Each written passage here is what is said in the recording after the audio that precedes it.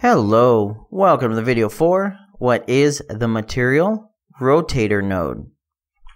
Here is our quick little example. If we go ahead and look at it in our scene, basically I'm taking this brick texture and I'm rotating it along the center and it's giving a rotated material effect. So let's see how this works.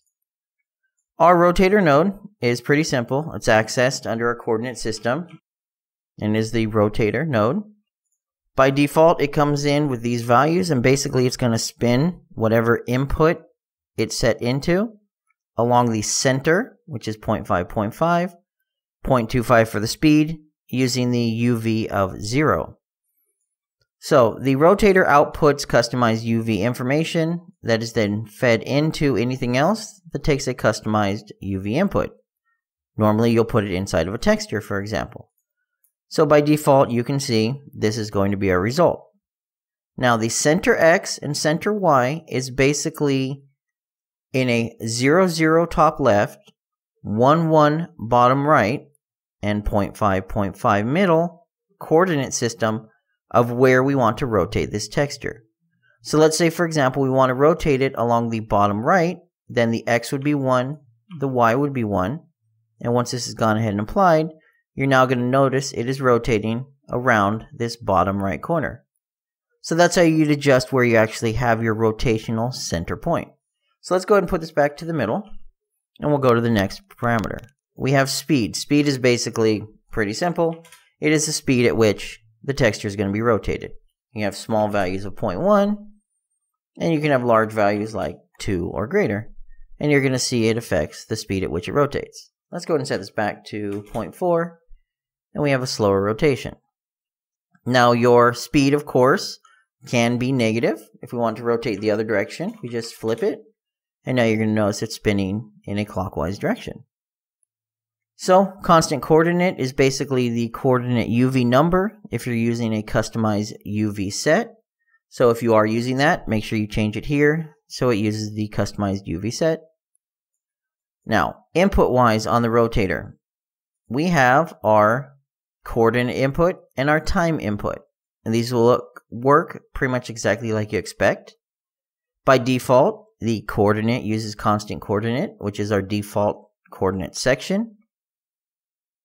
Time uses game time if nothing is plugged in, so it's going to be have a constant input based on the time. You can put in a constant value or a scalar parameter value.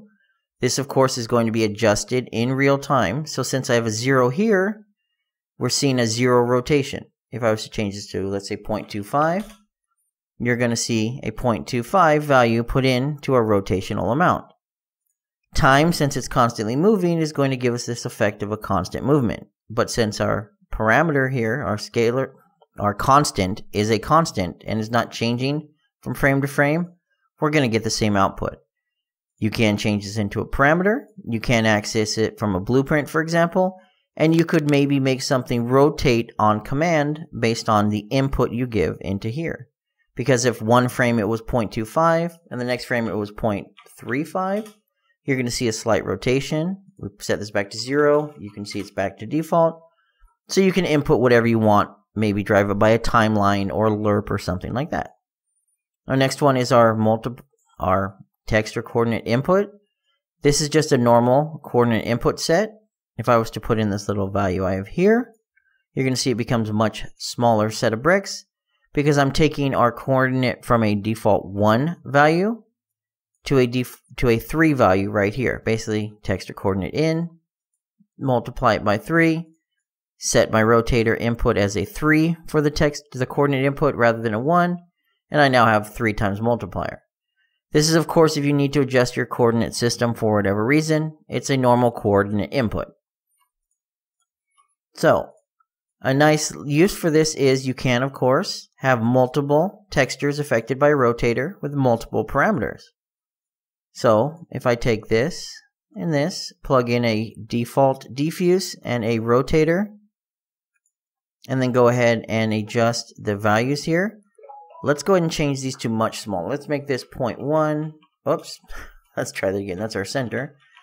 Let's make this a 0.1 for our speed x.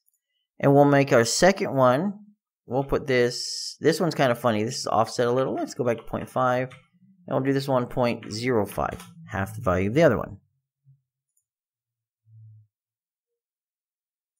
Okay, there we go. So basically I have this top one spinning at 0.1 for the speed, and I have the bottom one spinning at half that value, 0.05. And if we were to look at it, you get kind of like a 3D effect where you have a bottom layer and a top layer both spinning at different speeds. And of course you can adjust it. We could just flip this one if we wanted to. And now we have another odd little effect where you have two different layers where a bottom one is actually spinning in the different opposite direction of the top one. And it gives kind of like this little waving effect, which is really weird when they actually sync up together. So again, that is our rotator node. Rotators generally drive a rotational value on an input for a texture. You can have multiple rotators and you can make some pretty nifty effects. Maybe you want a whirlpool effect, or maybe you want a spinning effect without actually having to rotate an object. If you just rotate the material itself, you don't have to rotate the object itself. And that sounded weird, but it's a way of rotating something inside of a material. That's it. If you have any questions or comments, please leave them below.